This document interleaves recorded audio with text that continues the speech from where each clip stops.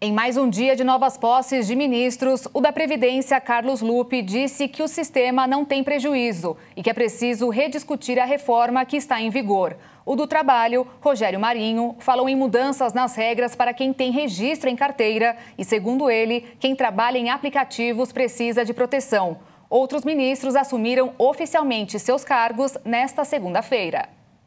Renan Filho, ex-governador de Alagoas e filho do senador Renan Calheiros, assumiu hoje o Ministério dos Transportes. Na cerimônia de posse, disse que vai apresentar um plano de ação nas próximas semanas e que o ministério deve atuar para aumentar e modernizar a malha ferroviária do Brasil. Também afirmou que será necessário rever os contratos de concessão de estradas e concluir obras paradas.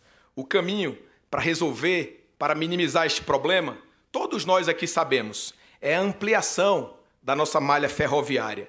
Nós temos uma topografia privilegiada. Temos a sorte que a natureza nos presenciou e precisamos aproveitá-la. No Ministério da Pesca e Aquicultura, que na gestão passada era uma secretaria especial, assumiu o deputado federal André de Paula. Valdez Góes tomou posse no Ministério da Integração e Desenvolvimento Regional e na Secretaria de Comunicação, o deputado federal Paulo Pimenta, que disse que o atual governo será pautado pela transparência e que o Brasil assumirá protagonismo mundial no combate às fake news. Combater as fake news não é uma tarefa fácil, não é uma tarefa simples. Esse não é um debate que só o Brasil está fazendo. Esse é um debate que hoje o mundo inteiro se debruça.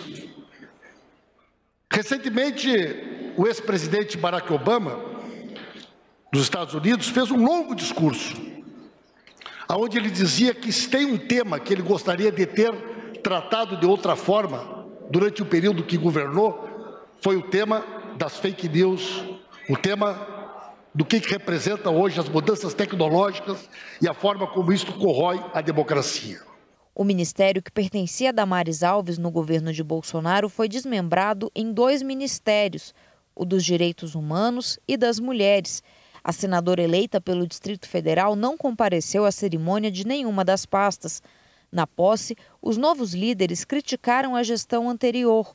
No Ministério dos Direitos Humanos e Minorias assumiu o advogado Silvio Almeida.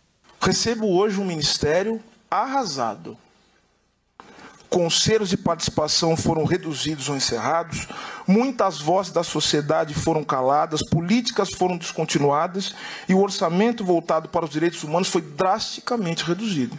E no Ministério das Mulheres tomou posse a publicitária e ativista Cida Gonçalves. Este ministério será o ministério de todas as mulheres, as que votaram e as que não votaram conosco, e das diversas das diversas mulheres que compõem a nossa sociedade, negras, brancas, indígenas, LGBT, QIA+, as do campus, da cidade e das águas.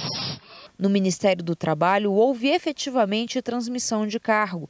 Diferente da maioria das outras cerimônias, o ministro anterior se fez presente para fazer a passagem da pasta. José Carlos Oliveira, que assumiu em março de 2022, passou o comando do Ministério do Trabalho para Luiz Marinho, que já foi prefeito de São Bernardo do Campo. Marinho disse que vai rever a reforma trabalhista e regular as relações entre empresas de tecnologias e trabalhadores informais de aplicativos, como entregadores e motoristas. Afirmou ainda que levará propostas ao Congresso Nacional para valorizar o salário mínimo e criar um sistema de proteção trabalhista para os autônomos. No Ministério da Previdência, assumiu o presidente do PDT, Carlos Lupe.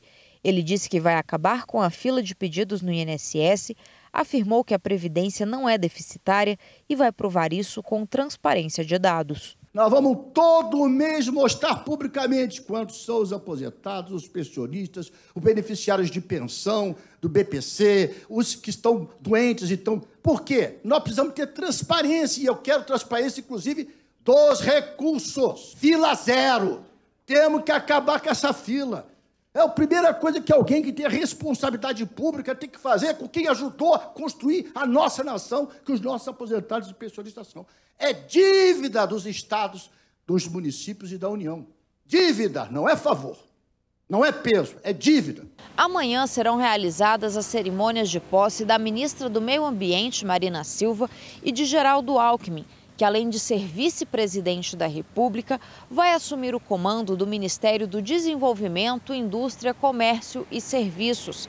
Alckmin deverá despachar alternadamente entre a esplanada dos ministérios e o Palácio do Planalto, onde as cerimônias desta quarta-feira serão realizadas. Alguns ministros ainda não definiram a data da posse. É o caso de Simone Tebet, que será ministra de Planejamento e Orçamento, e Sônia Guajajara, que vai comandar o Ministério dos Povos Indígenas.